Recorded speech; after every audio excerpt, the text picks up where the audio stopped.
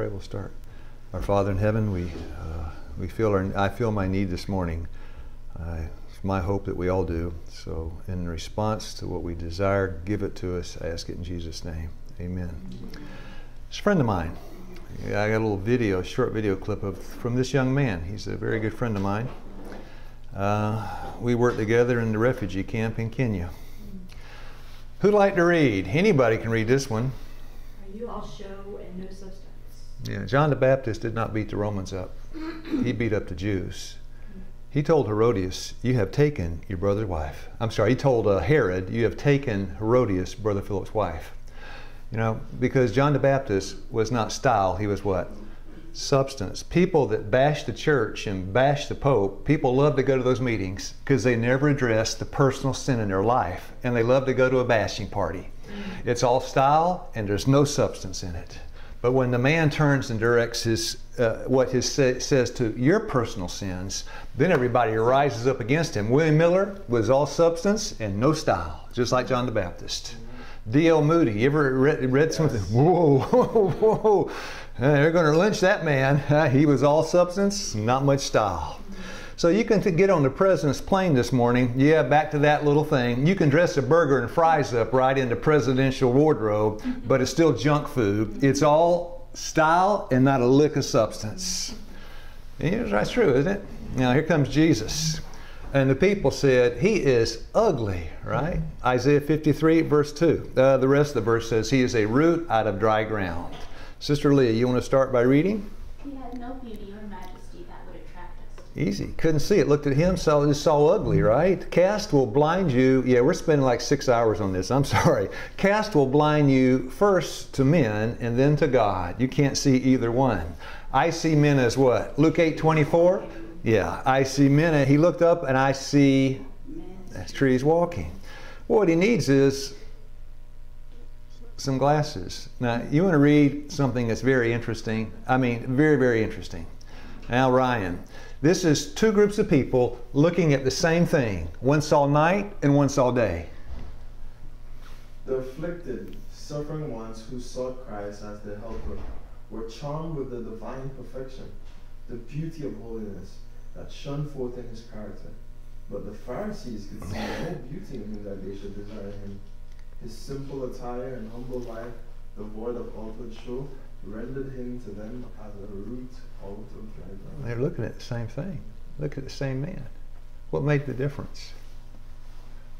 One looked at the substance, Amen. the others looked at the outer appearance. That's it. Our subject this morning with the hammer that breaks down the caste health evangelism. Sister Nicole, you want to read that one? Is your message empty? Yeah. Now, your message is empty. Uh, finish the sentence. If you're Then That's everything's it. empty. That's it. And you can strive with all your heart to try to say something that has substance. You'll never do it if your message is empty because you're empty you're empty. and give what you have. I want to read this one. This is a, this is a tough, tough thing to read for me. I read this because I believe these when I read them. You know, if you don't believe it, it's okay. It's not tough, right? But if you believe it, it is not orthodox theories, not membership in the church, not the diligent performance of certain round of duties that gives evidence that you're alive, right, of life. In an ancient tower in Switzerland, we read this, you know, months ago, but this morning it came back to my mind. In an ancient tower in Switzerland, I saw the image of a man that covered, uh, that moved as if it possessed life. It looked like a living man. And I whispered when I came near, as if it could hear me. But though the image looked like life, it had no real life. It moved by machinery.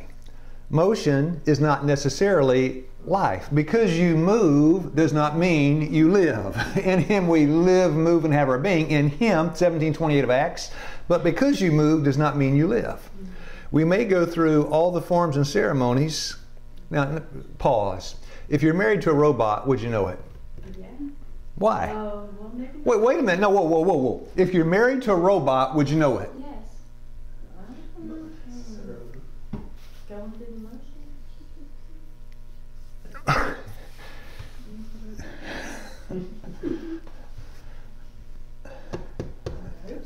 We may go through all the forms and ceremonies of religion. A robot does what? Yeah, it does whatever you tell it to do. Whatever you program it to do, it will do. It's all style and no substance. Uh, we may go through all the forms and ceremonies of religion, but unless we are alive in Christ, our work is worthless. Theology, unless it's saturated with the love of Christ, is yesterday worthless. Yeah. Well, how do you get a heart? How do you come to life? It's easy by getting an experience. Now, back to Isaiah 58. 58, verse 7. Remember what it said? You can even paraphrase it, you can read it. Isaiah 58, 7.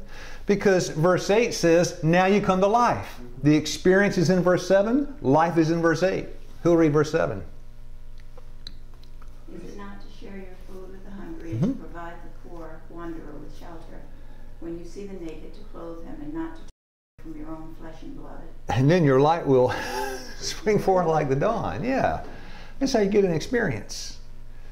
It's not. Now, what is that? But I guess it's. Mhm. Sorry, No, go ahead. No, go It ahead. I see even righteousness by faith in that because you're doing something that's so simple, Yeah. but you have to have faith to believe that the light will break forth. Yeah. Amen. You're not doing it because you want that, but you're doing it by faith. Amen. Because Yeah. this is not something like so special to say, like, you know, it's just taking care of people. That's it. This is a simple way to say it. Hmm, just take care of folks. The priest and Levite, they missed the experience. Their health did not spring forth, did not break forth like the dawn because they did not get the experience of what? Taking care of people. If you want to get a deep spiritual experience, find somebody incontinent and clean up their diapers. That's it. You go to a leper colony, you know. If you want an experience, that's how you get one. Anyway, what is what is that a picture of anyway? No. It looks like a silverfish. Is it crayfish? No. It looks like like crayfish a little bit. A fish riddle? No, it looks a little like that. Bait. It looks like that. It's not. No. The reason you don't know what it, it looks like that, the reason you don't know what it is, is because you probably have never seen one bigger than that. Because that is a, rhymes with that, that is a gnat. Yeah. Yeah, so, yeah, it's, it's so, uh. Yeah, and without a personal experience, you strain at gnats. And this is why people imbibe these conspiracy theories. They've got no personal experience. They strain at a gnat, you know. Th- These things keep churning into my computer. Ah, I just think, I just, I, I believe this thing. I believe this thing. I just hit delete, delete, delete. I won't tell you what I got last night. Mercy. I said, how can this man believe this? He is straining at a gnat. The thing in our life right now is sin. To beat up the Romans will not get us a, a, a jot or tittle closer to Christ. You blind guides, you strain at a gnat and swallow a camel. Uh, without a per- personal experience, you're just straining at gnats. Now, think carefully. Habakkuk 2, verse 4. The just shall live by his faith. Now, Oliver, The enemy of our work is pleased when a subject of minor importance can be used to divert the minds of our brothers from the great questions that should be the burden of our message. Yeah, I'm going to divert you. Let's talk about what the Pope's coming to the USA. and then is he going to break loose, right? My friends, your sins need to be going to the sanctuary, not the Pope going to Washington. Amen. And people gather and they love to hear that kind of tripe Yep. because there's no substance in their soul and it feeds their ego. Instead of dying to self, you live for self because thank God I'm not like him. Now, is this present truth? Is it beautiful? Is it a gnat? Is it a minor issue?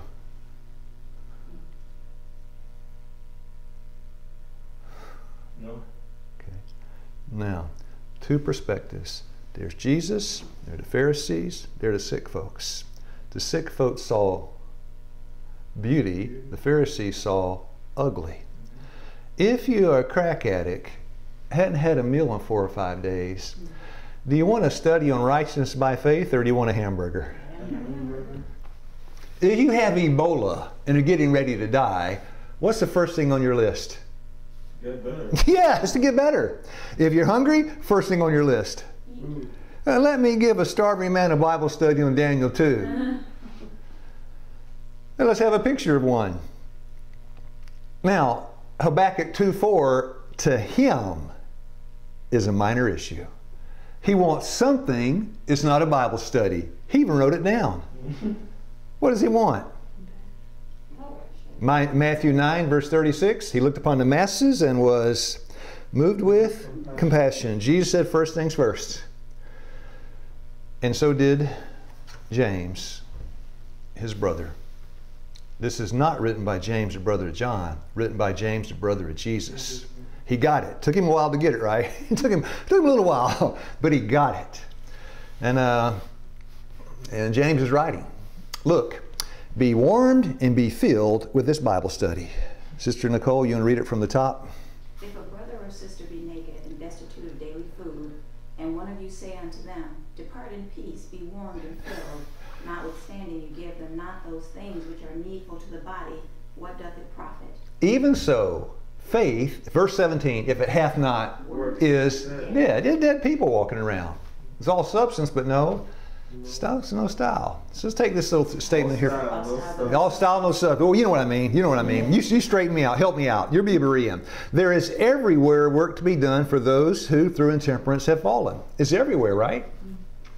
Men speak of these erring ones as hopeless, evidence you do not know God. That's evidence. Romans 8 24, we're saved by hope. Hope is the substance, 11 1 of Hebrews, of things hoped for. You don't know God. If you think like that, you don't know God. Now, you think you have hope for yourself, but Not for not for anybody else. Mercy. I mean, that's what you didn't know. That's what that's what a dead man thinks. I can come to life, but they can't. Men speak of these erring ones as hopeless. Next question: What makes them so hopeless? Because you compare yourselves to them. Yeah. Because when you look at somebody, all you can see is what the outside, and every comparison is made. Your outside with theirs, and diet, exercise, uh, administration, recreation, music, the dress, everything. That's all outward. Those are dictator genes. You don't got a choice. As far as the outside. What you do with the outside, you can choose. You say God can't help them. God can't help them to choose a different way. Yes, He can. How do I know? 'Cause He got me out of the beer joint. And ex- thank you, you're two steps ahead of me and experience. People who have those experiences, they do. We do that. So Yeah, yeah, yeah, yeah, yeah, yeah. we lost sight of our Yeah. Amen. My dear brother Ryan, you're two more steps ahead of me. Can you get an experience and then what? Forget it. Forget it? Lose it? Yes. Or can you get an experience and not really Yeah. embrace it? Yeah. You take the healing, but not the You love the gift more than you love the giver. Were there uh, Luke 17? Were there not? ten. Where are the other nine? They got the healing, but they were still dead. so uh, men speak of these erring ones as hopeless, but not so does God regard them. I say, praise the Lord. He understands. Now, this limits us because we don't understand. Anybody in the room, I'll take anybody, anybody, I use, I use Oliver. When I see Oliver, I see Oliver the way he is No. now. If he had an objectionable trait, and he doesn't, he's brother sunshine, right? You agree, right? Oliver's brother sunshine. There's there's no guile in that man, Luke John 147. He's just he's brother sunshine. But if he had an objectionable trait, or two, or three, or four, or five, or six, or twenty, and there's no hope for him. When I see him, all I see is these negative traits. But when Christ sees him, from the moment he was born until now, Christ sees every circumstance, every difficult situation, every distressing event that made him what he is now. The Lord sees Thank you. You're four steps ahead of me. The class is running ahead of me today. He sees what Oliver was, and then he sees what he can be, the potential. All we see is what this, the eye of faith, sees what he can be. And I say, there's no hope for him. you got no faith. And if you don't have faith, you are dead. He understands all the circumstances that have made them what they are. And you may not understand me, but the Lord understands why I'm such a mess. Aren't you glad? Yeah. And He looks upon them with, ah, I love it, I love it. Does the Lord care for my soul? Yes. Oliver, you want to read the rest? Uh, this is a this, class. is a, this is a class that demanded help.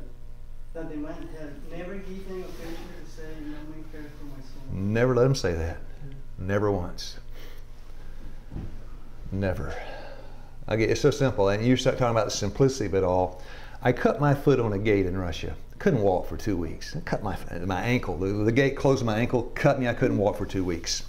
A doctor came. She's a Russian doctor. Couldn't speak a lick of English. And somebody told her I cut my foot. This is a deep cut. She's, come on, you know, let's see your foot. And I, it was the back of my ankle. I held it up. She said, and she went to her bag, brought back this little bottle of red stuff. And she says, okay. And then I thought, this is going to burn. And this is what she did. She got it out. And then uh, she got my ankle and put it on and then started blowing on it. Whoa, that's good. Isn't that good? So what? Simple. It's so simple.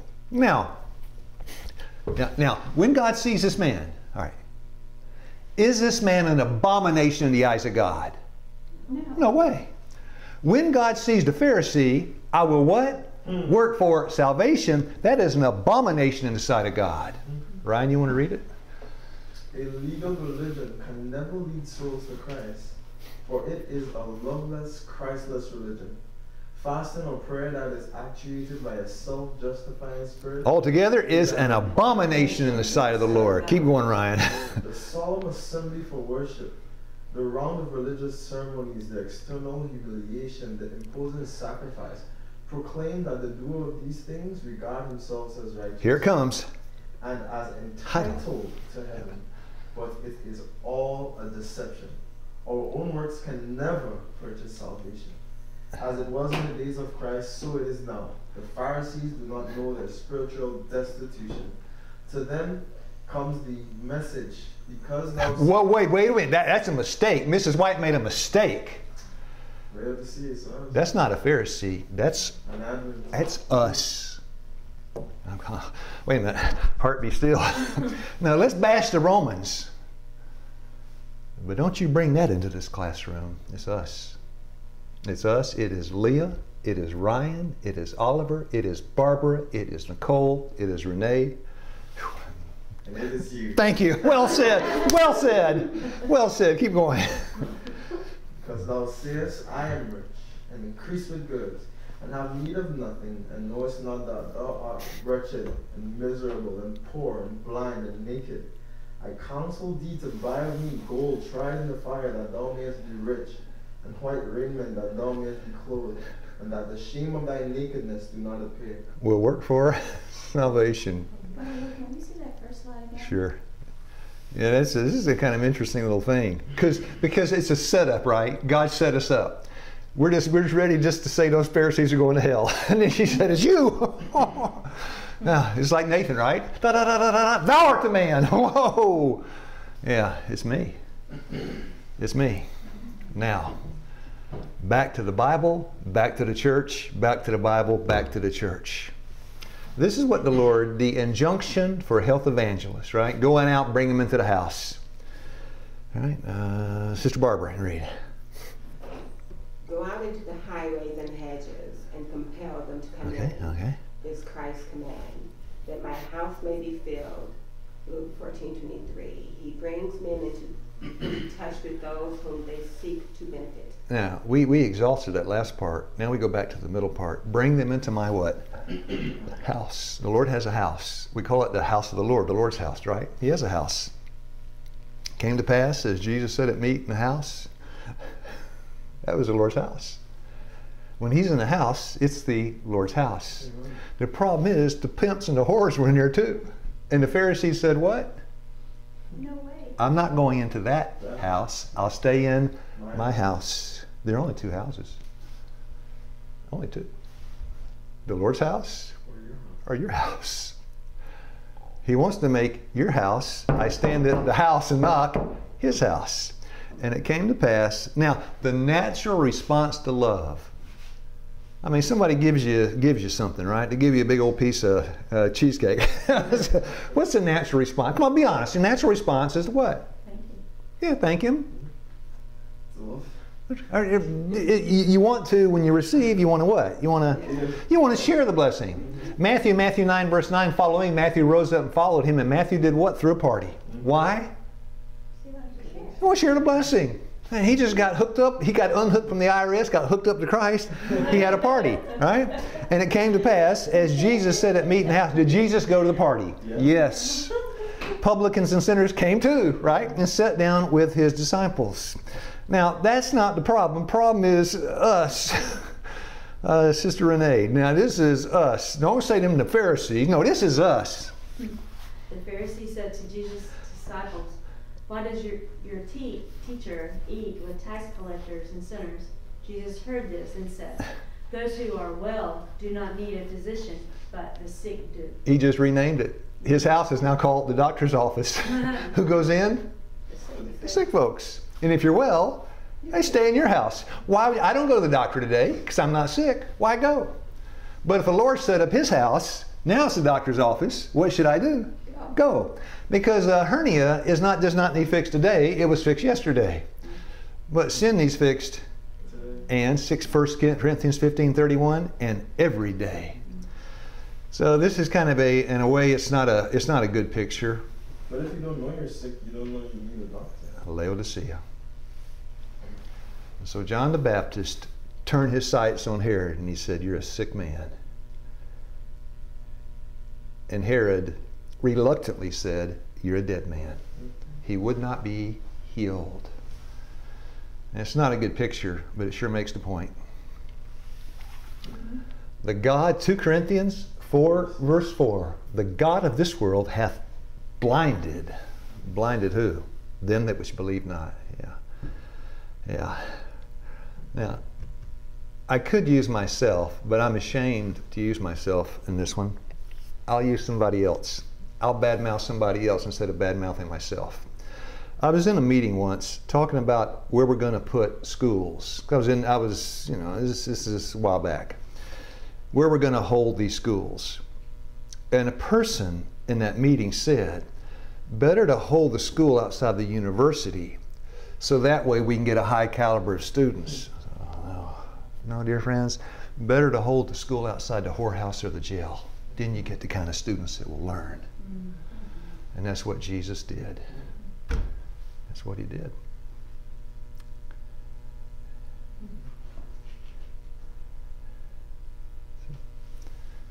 We're not looking for pigmentation or educational attainments. We're looking for a heart that's willing to receive. Now remember, two classes. One saw Jesus, man, that guy's ugly. Priest, lawyers, scribes, Pharisees. The other, yeah, the other class looked at Jesus, man, that's a, that's a good-looking man. I need what he has. Who are they? Prostitutes, Yeah. fishermen. Yeah, fishermen. Yeah, that's him. Now, um, again, a good friend of mine. Nick, Something is wrong. something's wrong. I'm trying to connect because there's this class. I'm not saying that all of them, but there's this class that has intellect, and there's this class that doesn't has nothing. Why does a class that doesn't have nothing can see their sickness rather than the class that is so intellectual? Is it their intellect? Is it I Wouldn't want to say. I, yeah, I got ideas, but uh, I'm not. I'm not. I'm mum on this subject. But we see something is wrong. There's a disconnect. Now I want to show you a short video clip of this guy named Andy. Uh, there is a counterfeit Christianity in the world as well as a genuine Christian Christianity. We know that, right? You got you got the uh, beware of the, the, the wolf in sheep's clothing. The true spirit, ah. You want to know what a man's really like? It's the way he treats. That's it. Now you take the lowest, basest, foulest human being on the earth, right? And that person may not be in the class. okay. And the way you treat that person is the way you treat Christ if he were here. Yeah. Yeah. As you've done to the least. Matthew 25, 40, as you do unto one of least of my brethren, that's how you treat me. Why kid yourself? Yeah. That's how you would treat God if he were here. How do I know? 25, 40 of Matthew plus that. You spot Christian, counterfeit Christianity in the way they treat you. The way you treat the untouchable in India is the way you would treat Christ if he were here. Now, I thought about Andy. This was uh, the lady interviewing him. His interview is on the. This lady that's interviewing him was a physician working part of the group. He invited me. That's why I went. He was a student at Wildwood Hospital. I was teaching one of the classes he took. And I said, uh, yeah, if you, I like mission work, health evangelism, da da da da da. He said, yeah, if you ever got a project going, call me. And he did. so he said, we're going to the refugee camp, want to go? And you know the story behind that. So the lady there was interviewing the, the people that went. And this is her interview with Andy. I took out 40 seconds. Listen to what he said. And Um, what challenges have been there so far? Um, my biggest concern was actually security. Uh, I don't know. Um, we've been sleeping with the refugees. Uh, there is exposure to all sorts of things. Um, but the love that we've experienced from the, the community has just, it's something beyond what I could ever imagine. The first day we came here, we had our feet washed. Uh, we, they've been pleading for us to give us our laundry to wash. They've been cleaning our rooms. Um, uh, with the little they have, they've shown so much love. They've mm. shown Christ's love actually towards us mm. with little or no words. Mm. Though there's a language barrier, their actions have clearly demonstrated the love for Christ that they have because you know we can't love Christ if we can't even or if we don't even love our, our fellow you know human beings or Yeah. neighbors. Matthew 25, 40.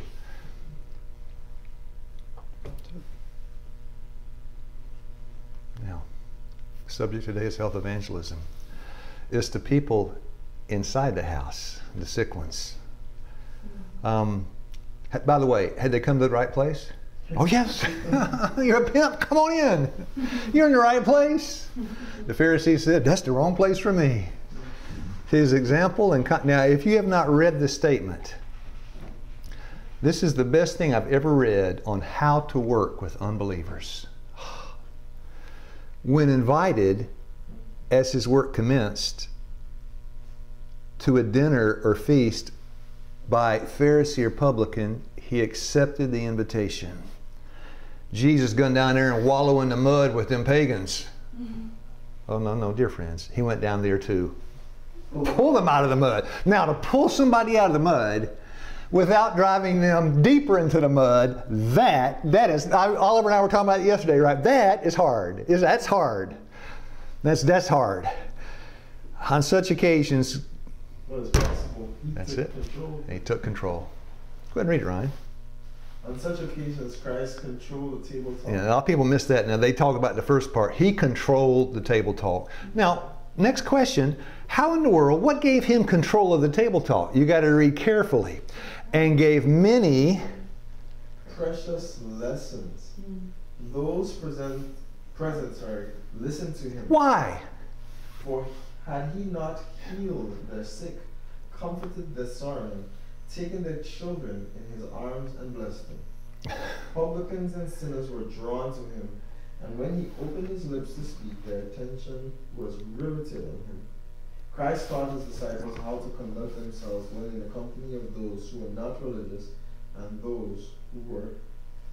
And that's a lesson we need. That's a lesson. Mm-hmm. We need that We need that. because I'm, I'm sitting here listen, looking at this and I'm trying to put myself in that place and I know my heart is not there. Amen. And I don't know how to conduct myself in certain company Yeah. because I'm not comfortable. Amen. Mm-hmm. Amen. Mm-hmm. That's what Oliver yesterday.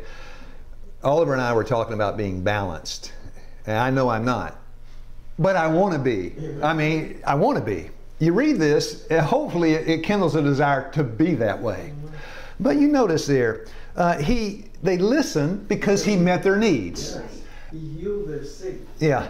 That's why he, he did medical missionary work before. Yeah. Keep it today. Now, now, the, the, the, the 10 star thing that I think if we miss, we miss the whole thing. Not that I'm smart. If we miss it, we miss the whole thing. That crowd he was with were not the religious type. It didn't matter. It, he was not hindered by their lack of religion. I'll read it. He taught his disciples how to conduct themselves in the, in the company of those who were not religious. That kind of crowd, no religion, no hindrance. Health evangelism. Wow. Respectable sins. well, now, okay. The, the, the, caste system, right? You're a child molester, you're a pimp, a prostitute, you're a, you're a, you're a pedophile. No good. I'm a Wall Street lawyer, just happened to get caught on a down day. I'm okay, right? Respectable sins. Brother Oliver. He who falls into some of the grosser sins might feel a sense of his shame and poverty and his need of the grace of Christ. But pride feels no need, and so it closes the heart against Christ and the infinite blessings he came to give. Now, I wrote this. Oliver, you want to read the next one? I wrote the next one. This is not inspired.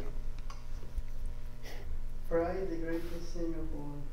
Pride is the carbon monoxide of the sin. Yeah, if you don't know what carbon monoxide is, hmm. o- odorless and tasteless. In the old days before catalytic converters, if you wanted to take your life, you put your mouth on the exhaust pipe. It was a painless way to die. Catalytic converters now, it's changed the picture. Yeah, it's, you can't taste it. It's odorless, taste is invisible. You don't see it. You can't close your garage now and die. Yeah. You don't see your need. The eyes in the middle of that. Yeah. Well, I'm glad it, well, it's only America and I said, take the Chinese for an example. All right? Chinese are angry because the, they call it the pimps and the prostitutes, and uh, this is what they did with them. A part of a two month crackdown on vice in the booming city of Sichuan, public security officers hauled about 100 women and some of their male uh, customers through the streets on November 29. We're going to teach them, uh, handcuffed and wearing bright yellow prison tunics. People in the parade attracted large crowds of curious onlookers. Now, here's the problem. Never, mind, I won't say it. Although the women tried to cover their faces with surgical masks, this is before the pandemic too. It was not enough to hide their identities because police revealed their names, hometowns, and dates of birth while publicly sentencing them all to 15 days in prison. My dear friends, that is caste system according to crime. It's everywhere. 323 of Romans, how many have sinned? All. We are all, I wrote the bottom part, we are all criminals. But I'm not as criminal as you. Yeah, we'll put you in a yellow jumpsuit, run you down through downtown Atlanta, and publish it in the Atlanta Journal, everything about you. Uh, you won't catch me doing that. I mean, now, now, be, now be honest. Let's take a, let's take somebody that steals a paperclip out of the office. That's a crime. Thou shalt not steal. Doesn't matter how small or how big. It's still a sin. A little sin will keep you out of heaven as much as a big sin will. You need forgiveness for both, right? You kill somebody. The good news is now you flip it. I kill somebody. I didn't steal a paperclip. There's still hope for you. Uh, you stole a paperclip. You stole a paperclip. I killed somebody. Lord said, What? Come on, both of you, come into the house. No, I don't think so. I only stole a paperclip. Hmm.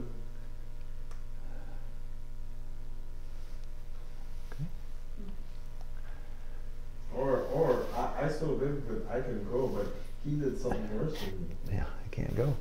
It's just caste system by crime.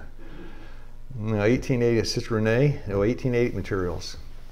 God enjoins upon us to guard the reputation of our fellow believers in the harvest field, as we desire our own reputation to be guarded. Ah, it's the golden rule, right? That's the golden rule. So somebody does something wrong, who do you tell? Yeah. Nobody. And if you say, what's the best, now outside of Christ, outside of Christ in the Bible, the best example that comes to my mind is when Joseph found out his wife was pregnant. I mean, I'm sorry, before they had a relationship, not married, right? His wife turned up, his, I'm sorry, fiance turned up pregnant. The birth of Jesus Christ was on this wise when, he, when, when, as his mother Mary was espoused to Joseph, engaged to be married, before they came together, had a sexual relationship, she was found with child of the Holy Ghost. And Joseph said, What? I'm going to guard that woman's reputation. I read the next verse. Sister Lee, you want to read? I mean, I read this thing, I thought, What? Then Joseph, her husband, being a just man, not willing to make her a public example, was minded to put her away privily. What's that word privily mean? Secretly. Yeah, privately, secretly. What was he doing? Living the golden rule, guarding the reputation of Mary. That's the kind of man that God put Jesus, the Father put the Son in that kind of household. That's it. Guard the reputation. God does the same thing for this, right? Oh, sure he does. Sure he does. Sure he does. And so uh, I'll read it one more time. And uh, before I read it, it's the sermons and the satellites do not play well in the subway in Harlem. Hmm.